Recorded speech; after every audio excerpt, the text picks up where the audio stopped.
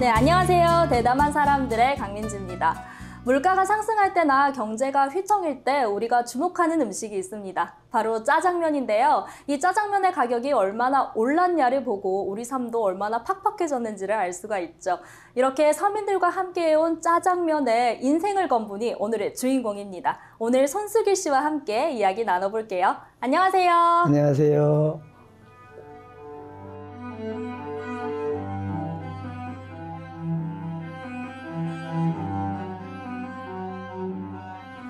자, 어떤 일을 하는 분인지 굉장히 궁금합니다. 자기소개 부탁드릴게요. 아, 저는 그 짜장면, 그 수타면을 전문적으로 하는 한 50년 정도 가까이 돼서 수타면만 계속 고집을 많이 해서 하고 있는 지금 직업입니다, 제가. 아, 그러면 네. 중국집 주방장님이신 거네요? 예, 예. 사실 제가 선생님을 봤을 때 그렇게 나이가 엄청 많아 보이시지는 않는데 50년 됐다고 하셔서요. 와, 아니 언제부터 시작하신 거예요? 예, 원래 제 고향은 대전인데요. 대전에서 서울로 이제 그 초등학교를 졸업하고 예, 그 기술을 배우러 올라갔어요. 야간에는 공부 좀 하고 낮에는 그 기술을 수타면을 좀 배우려고 서울로 올라가고서는 저희 오춘 아저씨 댁이 마침내 중화요리를 하는 집이 있어가지고 거기에 들 거기에 이 거기서부터 일을 하기 시작했죠. 그럼 학교도 안 다니고 바로 거기서 일을 시작하신 거예요? 예, 그때 당시에는 어려움이 있어가지고 먹고 살기가 의식주가 우선 해결을 돼야 되, 되다 보니까는 우선 먹는 걸 참, 어, 쉽게 말하면 우리가 어려우니까 먹는 걸 해결하다 보니까는 벌써 제일 쉬운 데가 중국집 그 일을 하는 게 먹는 데에는 지장이 없었거든요. 기술을 배우실 때 뭐 볶는 것도 있을 수 있고요. 기술을 배울 수 있는 게 다양한데 왜 수타를 배우셨어요? 아, 그 수타가 처음에 면이 나오는 게 참 매력 있고 참 관심 깊게 봤어요. 그래가지고서는 아, 나 이제 그릇을 닦던 이제 중국집에 옛날에 가면 그릇 닦는 그 싸완이라고 해서 그릇 닦는 직업부터 시작을 해. 차. 그 다음에 이제 뭐 면 빼는 거. 그래갖고서는 그 그릇 닦는 거 하- 하다가 이제 그 옛날엔 기술자가 잘 안 가르쳐 줬어요. 그랬을 것 네. 같아요. 그래서 이제 기술자가 어디 외출을 나간다든가 말적에 그 기술자가 해놓은 그 반죽을 갖고 몰래 좀 빼보고 그 다음 날에 기술자가 그 반죽 만진 걸 알거든요. 뭐 혼나기도 많이 혼나고 그렇게 해서 배웠어요. 근데 선생님은 그걸 어떻게 다 배우셨어요? 가르쳐 달라고 어떻게 부탁을 하셨어요? 아니 눈으로 봤죠. 항상 요리사가 음식 맛을 볼 적에 옛날에 주방장이 음식 맛을 안 가르쳐 줬어요. 그럼 어떻게 하냐. 음식 나갈 때 손을 약간 넣어갖고 국물에다가 까고 뒤에 돌아가고 맛도 보고 이래서 기술을 배우던 시절이었으니까. 아까는 그 면도 눈으로 봐가지고 이제 쉽게 말하면 그 면 빼는 그 수타면 빼는 뭐 모임이 있다든가 이래 일찍 가는 날 거의 다 옛날에는 숙식을 많이 했거든요. 근데 무슨 특별한 일이 있으면 외출을 하거든요. 그러면 그때 이제 좀 배우고 반죽을 떼어서 배우고 그랬던 시절이었으니까 참 새롭네요. 선생님 혹시 수타 대회는 나가보신 적 없어요? 나와 있고 저 백스코에도 나가보고 이런 때 조그만 대회는 많이 나가봤습니다. 근데 오, 근데 뭐 글쎄 제 기억으로서는 제일 빨리 뺄 때 그 서울서 한번 열 몇 명이 모여가지고 그때 당시 40초로 내가 뺀 걸로 기억이 나는데 40초. 세 그릇을 빼는데 한 40초 걸렸어요 40초.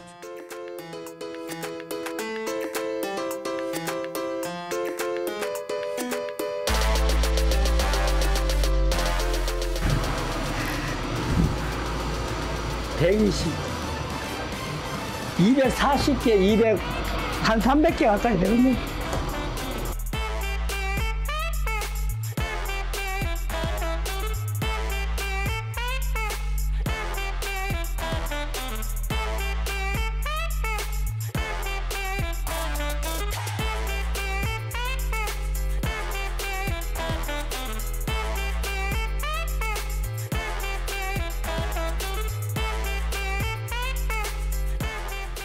사실 요즘에야 음식 시키면 핸드폰으로도 시킬 수 있고 어플리케이션이 굉장히 잘 돼 있었잖아요. 예. 그 당시에는 배달이 어떻게 진행됐어요? 아, 그 교환 전화라고 있어요. 교환 전화라고 해서 교환원을 통해서 어디 저 몇 번을 대달라 그러면은 그 몇 번에서 오시면은 연결을 시켜주죠. 교환 교환원 연결을 시켜서 갖고 아 여기 김대령네 집에 옛날엔 주소도 없었어요.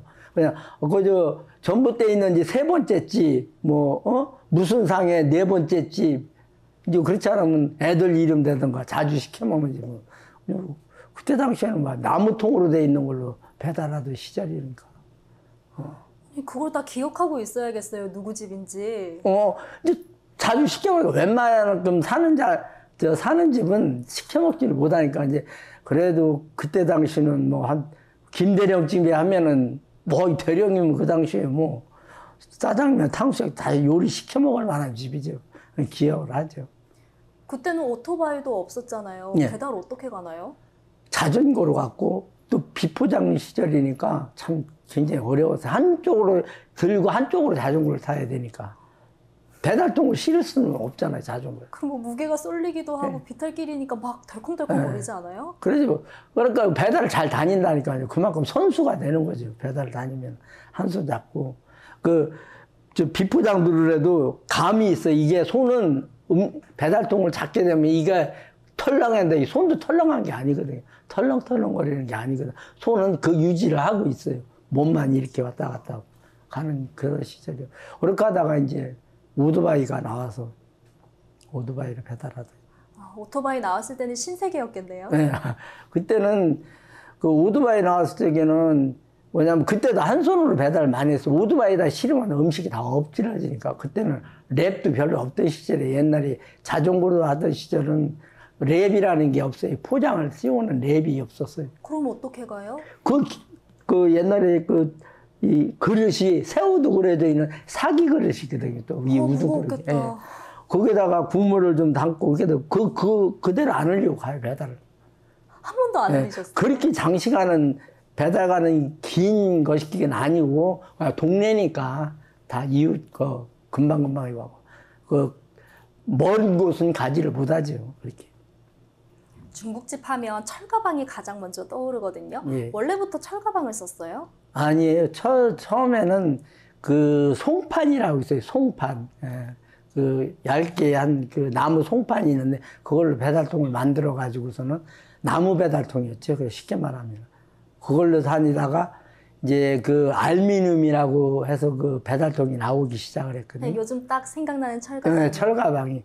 그러니까는 철가방이 나온 다음에 가방도 가벼워지고 철가방이 가벼워지고 저 그렇게 이제 한참 흐르다 보니까 나중에 플라스틱 문화가 이제 발전이 되다 보니까 지금은 이제 배달통이 거의 다 플라스틱으로 해서 나오죠. 한 3단계 정도가 거친 걸로 알고 있습니다. 제가 알기로. 또 지금이야 일회용 그릇에 나가지만 예전에는 그릇에 그릇을 가져다 주고 또 갖고 와야 되는 시스템이었잖아요. 예, 예, 예. 그 갖고 오는 것도 쉽지가 않았을 것 같아요. 그러니까 옛날에 그 배달하는 사람이 그릇을 잊어버리면 월급에서 깠어요. 왜냐면 서로가 중국집마다 가져가니까. 바깥에만 내놨다면은 가져가. 서로 가져간다고요? 그- 거기 가서 물어봐. 어디, 두 군데에서 음식을 시켜 먹었으면 한 사람 다 가져가면 막, 그러기 옛날에 짜장면 그릇 여러 가지였었어요. 이 그릇도 있고 저 그릇도 있고 막 그러기인데. 그거는 이제 찾으러 가. 그 가져간 그 중국집으로 가면 또 거기에 있어서 찾아오기도 하고 또 새로운 주, 조, 종업원들을 모르니까 아무거나 그러기나 또 갖고 올 거 아니에요. 보이기만 하면은. 뭐가 뭔지 다 예, 예, 예, 기억하니까요. 예. 그래서 그런 경우도 많아요. 그래서 그릇, 가- 그릇 때문에 다투기도 많이 다퉜던 시절이었거든요.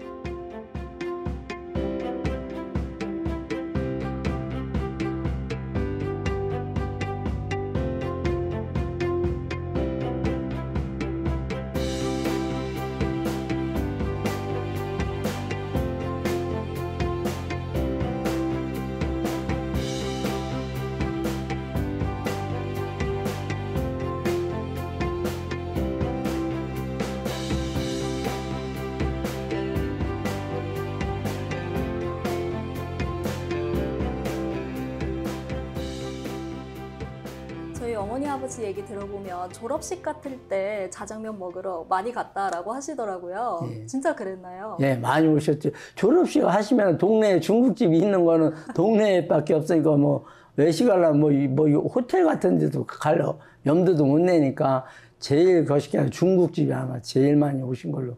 그, 그때는 줄을 섰으니까 짜장면을 먹으려고. 아, 그줄 졸업식 서서. 때는. 예. 근데 궁금한 게요. 왜 졸업식 같을 때 중국집을 찾았을까요? 학교 행사와 관련했을 때 많이 찾았던 것 같아요. 예. 그러니까는 먹 중화 요리라는 그 중국집 자체가 동네에서는 최고의 집으로 갔으니까 그 당시에는 뭐 그렇지 않으면 뭐 시장 가서 순대집이나 막 이런 데나 다녀서 먹고 했지 그러니까 그래도 자, 저 짜장면은 외식 중으로서는 그때는 최고였으니까 아마 동네에서는 많이 찾으신 걸로 그렇게 알고 있습니다. 어르신들 얘기 들어보면 옛날에 짜장면 진짜 맛있었다라고들 하세요. 진짜 그렇게 요즘보다 맛있었나요? 맛이 변화가 있나요?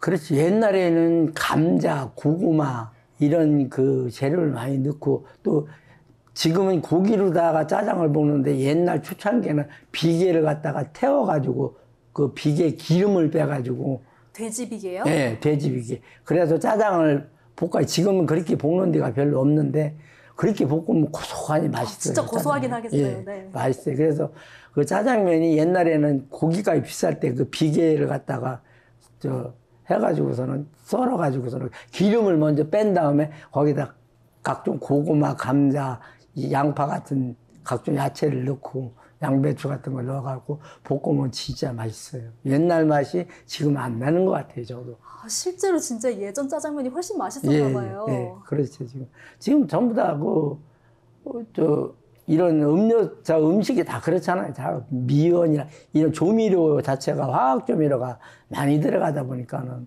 옛날 그 맛이 좀 좀 덜하다고 볼까 그렇게 보시면 아마 될 거예요.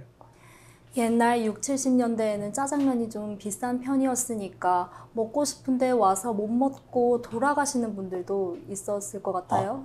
요즘에 말하면 먹튀가 좀 있었죠. 막 먹고서는 막 도망가는 사람도 옛날에 지금은 막 장난 삼아서 그렇게 많이들 하는 것 같은데 뭐 옛날 같으면 진짜 어려워서 그 면을 이렇게 건지면은 면이 조금씩 남아요. 그걸 모아놨다가 우리가 끓여 먹고 했던 시절이니까 그 종업원들이 그걸 먹어요. 옛날에는 그 어려웠던 시대니까 짜장면 제대로 빼갖고 한 그릇도 못 먹어요. 왜 손님 팔다가 이렇게 건지면 밑에 남는 거 있죠. 그걸 자투리 같은 거. 어, 자투리를 남아서 또 점심 때 끓여 먹고 하던 시절에 그러니까 그 시절은 누가 잘 웬만한 사람들은 모르고요. 그러니까 우리들 정도가 돼야지 한 50년 정도 된 사람들은 그 경험을 다 해봤을 거예요. 아마.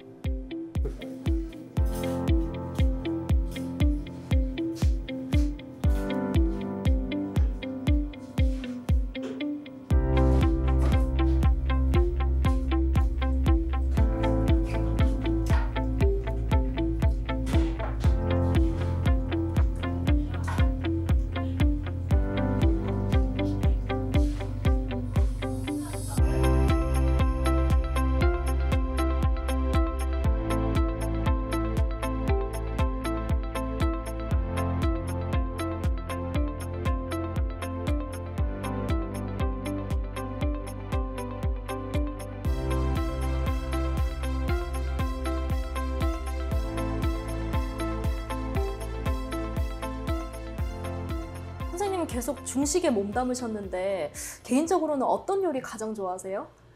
저는 아직까지도 하루에 한 끼는 면을 먹거든요. 짜장을 먹든 짬뽕을 먹든 에, 글쎄 저는 밥보다 면을 더 사랑하는 것 같아요. 그래 밥 아니 면을 꼭 하루에 한 끼 정도는 먹는다고 보시면 됩니다. 면 중에서도 어떤 면이요? 아, 짜장하고 짬뽕을 굉장히 좋아하거든요. 그 짜장에다가 짬뽕 섞은 짬짜면을 또 좋아하고요. 어, 그, 그걸 섞어서 먹는 거예요? 예, 그런 매력이 있습니다. 그러니까 기술자가 아닌 사람은 이 수타면 기술자가 아닌 사람 그 매력을 몰라요. 그 맛의 매력을. 그럼 직접 만들어서 바로 드시는 예, 거예요? 예, 예, 직접. 그 짜장하고 짬뽕하고 약간 섞어서 먹으면 그 오래된 요리사들은 그 맛을 알 거예요, 아마. 제가 얘기하면, 아, 그래, 그거야. 그런, 그렇게 아마 아시는 분들이 많을 거예요. 무슨 맛이 나나요? 두 개가 섞이면? 어, 그, 무슨 맛이 난다고. 매, 이거는 짬뽕은 약간 맵기도 하고, 짜장은 약간 느끼한 맛도 약간, 이제 그게 조합을 이룬다가 보면은 그, 그 중간치 맛? 이렇게 생각하시면 될 거예요. 그 매력 있습니다, 그 맛이. 이 일 하시면서는 언제 가장 보람되셨어요? 아, 지금이 아마 가장 보람된 삶을 사는 것 같아요. 예, 봉사단체장으로서 어, 이 봉사하고 그 중식봉사협회장을 맡고 있습니다, 아, 제가. 그 봉사단도 있어요? 예, 예. 그래서 제가 협회장에서 사하구에 각 동마다 지역장들이 있어가지고 각 이 사하구 쪽이 다대포 쪽이 이 복지관이 많아요. 의외로 영도에도 복지관이 많지만은 이 부산에는 특히 영도하고 사하구가 복지관이 많거든요. 각 복지관을 다 1년이면 매달 다니면서 봉사활동을 하는 거 이런 것이 가장 보람을 느끼고 사는 거죠 지금.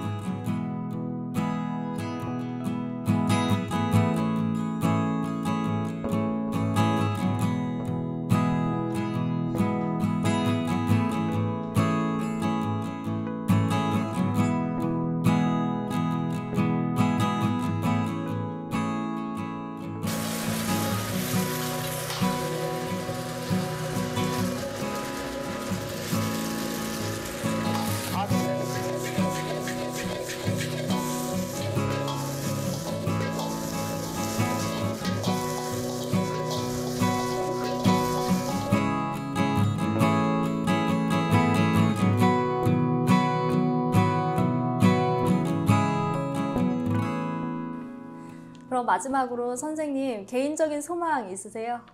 아, 지금 개인적인 소망은 이거를 계속 하면서 몸이 일단은 건강하고 봐야겠다. 그러고서는 또 앞으로는 예, 좀 봉사활동을 좀 많이 하고 또 아무 나보다 나, 나, 높은, 저, 나은 사람도 있지만 나보다 못한 사람이 아직 많으니까 앞으로 이 봉사활동을 좀 많이 하면서 남은 여생을 좀 이 요리사로다가 지내고 싶습니다.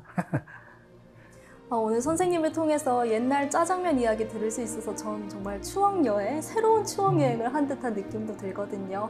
건강이 최고잖아요. 네. 건강 잘 지키시면서 앞으로도 쫄깃한 짜장면 많이 네. 만들어 주시길 바라겠습니다. 네. 바쁘실 텐데 오늘 이야기 해주셔서 정말 감사드립니다. 네, 고맙습니다.